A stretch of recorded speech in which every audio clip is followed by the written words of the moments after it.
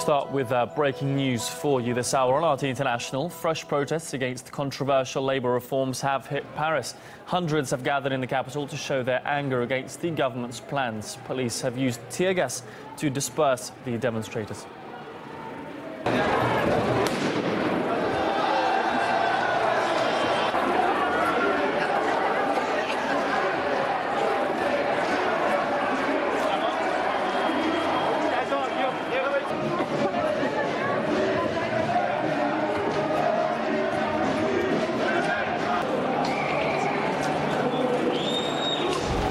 I'm joined live now by RT contributor Anna Baranova, who's in the heart of the French capital. Anna, thanks for joining us. Uh, what's the situation there at the moment where you are?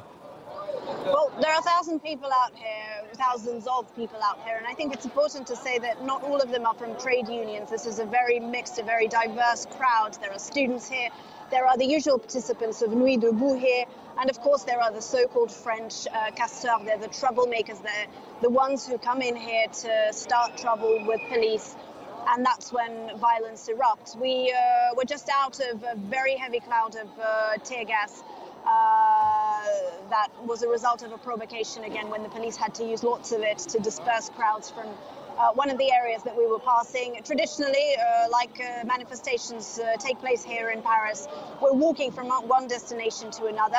And just as I said, uh, thousands of people are out in the streets. Of course, all of this is part of an anti-labor law movement. This isn't only happening in Paris today.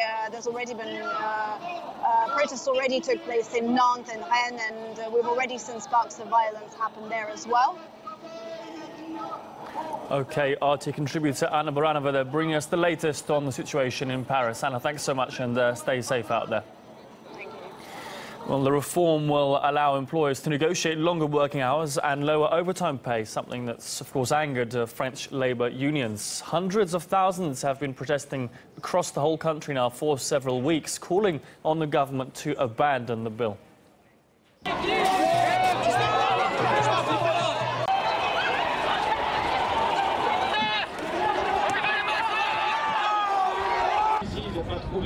on va dire, ni l'écho ni l'accueil qui...